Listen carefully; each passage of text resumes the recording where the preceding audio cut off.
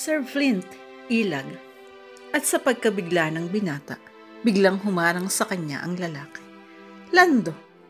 Pero huli na, nasalo ng mga bisig niya ang duguan nitong katawan.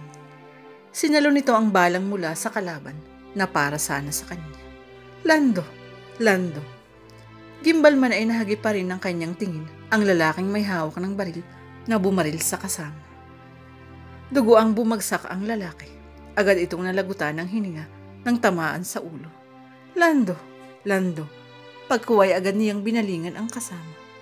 Sir Flint, Lando, just hold. Dadalhin kita sa... Sir, huwag na. Hindi ko nakakayanin. Bahagyang humigpit ang hawak nito sa damit niya. Lando, ang anak ko, alagaan mo. Lando, huwag kang magsalita ng... Iisa lang ang pangarap ko, ang makapagtapos ang anak ko. Siya lang ang kayamanan ko. Ayoko, naputo lang iba pa nitong sasabihin ng sunod-sunod na mapaubo at magsuka ng dugo. Tama na iyan, dadalhin kita. Mangako ka, pero lalong humigpit ang hawak nito sa kanya. Natigilan si Flint. Sunod-sunod na ang pagbulwak ng dugo nito sa bibig. Mangako ka, ang anak ko. Oo, oo, hindi ko siya pababayaan.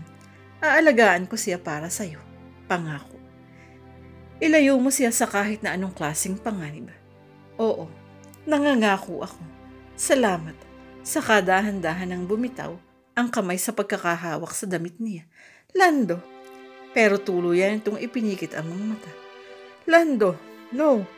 At wala siyang magawa, kundi ang mapasigaw na lang sa pagkagimbal dahil sa pagpanaw ng tapat na tauhan na nagbuwis ng buhay para sa kanya. Saan ka galing? Ha? Natigilan sa paghakbang si Kahaya sa madilim na sala dahil sinadya niyang huwag magbukas ng ilaw. Saan ka galing? Mas mabalasik na ang boses ni Flint ngayon. Dahan-dahan siyang lumingon sa may-ari ng tinig na iyon. His towering height is intimidating her. Ah, Nagkaayayaan kasi kami ng mga kaklase. May birthday kasi at kaya nakainom ka?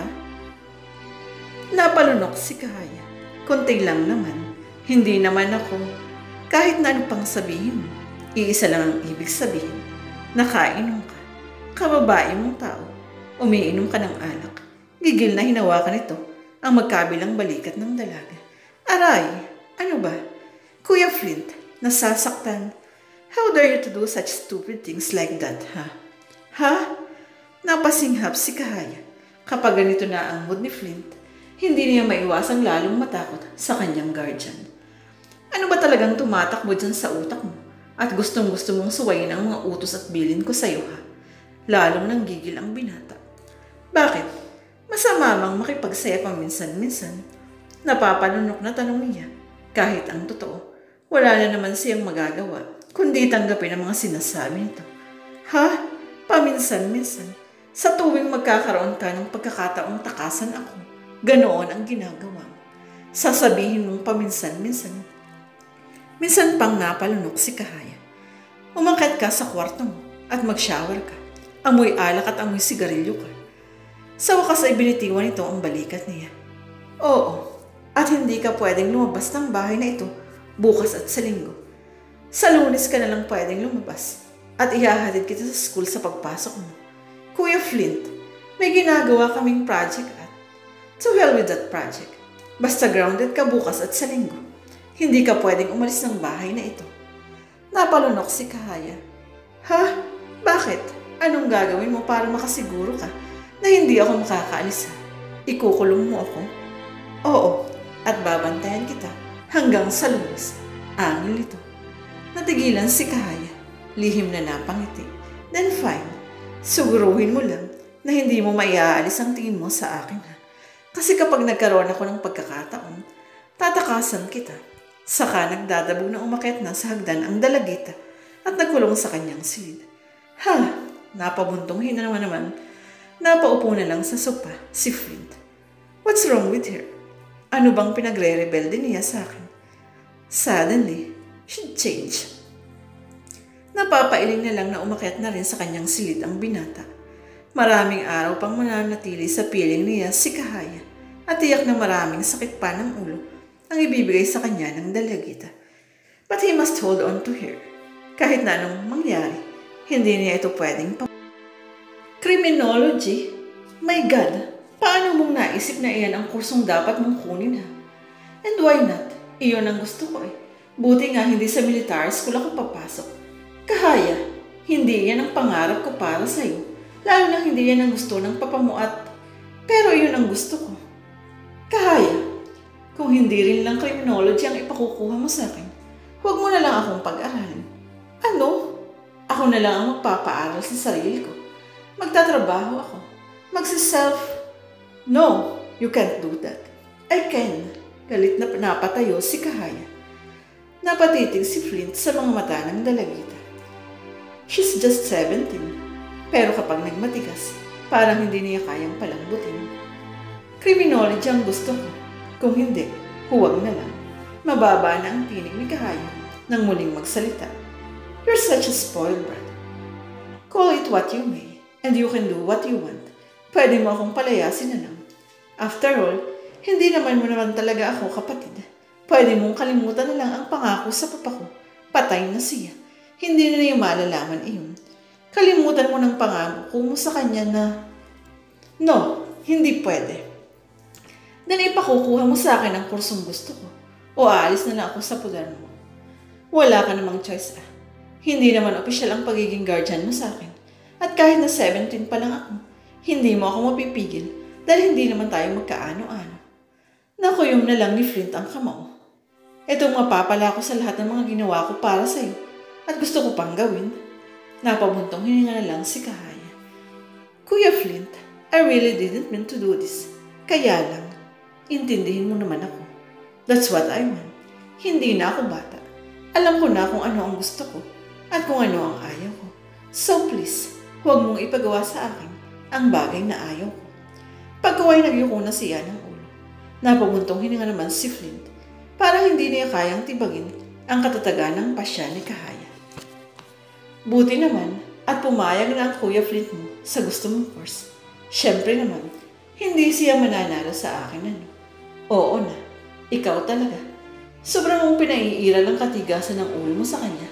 Buti na lang at hindi ka pinapatulan. Tahimik lang si Kahaya, nag-iisip. Ayaw talaga niya akong umalis. Hanggang ayaw niya akong umalis, magagawa akong gusto. Makakatapos ako ng criminology. At kapag nakatapos na ako, I can have my wings to fly. Magagawa ko na ang gusto ko. Pagkuway na pabuntong hinangalang si Kahaya. Kahit na palagi kaming nag-aaway, he's still after my future. Pero bakit ganun? Bakit bigla siyang nagbago ng pakitungo sa akin? Anong nagawa kong mali at nagbago siya? So I have no choice but to fight back on him. Parang gustong maiyak ni Kahaya. Pero pinigil niya ang sarili. Kuya Flint, I miss those days na nararamdaman ko ang kabaitan mo sa akin. Your sweetness, your comforting words. But why? But why all of a sudden ay nagbago ka? Minsan pang iniyakan ni Kahaya ang isiping iyon. Bakit kasi hindi na lang sa isang bahay ang punan mo dalhin si Kahaya? Then suportahan mo ang mga kailangan niya. Pabuntong hiningang wika ni Alvin. Hindi pwede. Hindi iyon ang pangako ko kay Lando. Kaswal na sabi ni Flynn. But she's always giving you a hard time. Hindi mo siya kayang disiplinahin. And look at you. Mula nang mapunta siya sa pudar mo, hindi ka na yata nagkaroon ng panahon sa sarili mo. Three years na sa pudar mo si Kahaya. At mula noon, hindi ka na yata nagkaroon ng seryosong relasyon sa kahit na sinong babae. Natigilan si Flint. Naging busy rin naman ako sa mga kasong hinawakan ko, hindi ba? at hindi ko pwedeng pagsabayin ang babae at trabaho. At si Kahaya, muling napabuntong hininga si Flint. Yes, napailing na lang ito. May gusto pa sanang sabihin, pero nanahimik na lamang. Anyway, may bago kang misyon. Okay live ba kung ilang buwan kang mawala at madidistino sa malayo? Muling natigilan si Flint. Ayaw ng binatang umalis. Ayaw niyang iwan si Kahaya at baka kung anong kalokohan ang gawin kapag wala siya. Pero kailangan sa trabaho niya. Okay lang sa akin. Good. Here's your new mission. Inilapag ni Alvin sa ibabaw ng mesa ang hawak na folder sa bagong kasong hahawakan ng binata. Dinampot iyon ni Flint at simulang pag-aralan. Mas mainam na maging busy siya sa trabaho kaysa konsumihin ang sarili sa katigasan ng ulo ni Kahaya. Kahaya Santiago. Napapitlag si Kahaya nang marinig na tinatawag na ang kanyang pangalan para umakyat sa stage. He didn't did make it. Hindi siya darating sa graduation ko. Kahit alam niyang importante sa akin ang araw na ito, hindi pa rin talaga siya darating. Napabuntong hininga na lang si Kahaya at tumayo na para umakyat sa stage at tanggapin ang kanyang college diploma.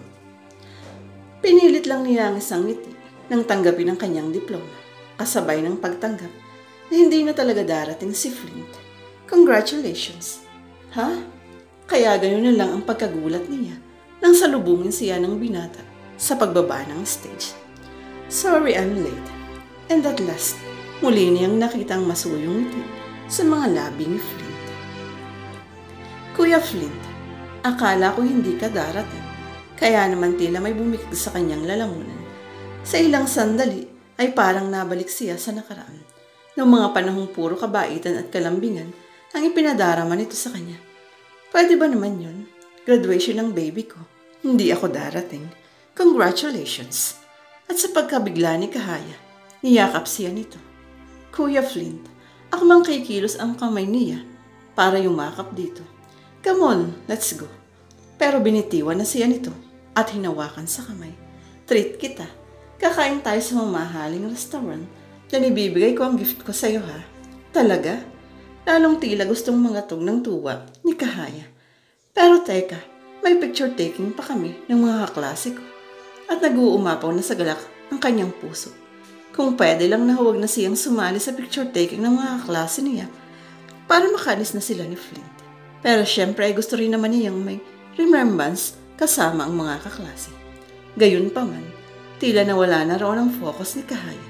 Habang nagpipicture taking sila sa mga kaklase, ay panay ang sulyap niya sa kinauufuan ni Flint. Natatakot siya na baka mainip na ito at um-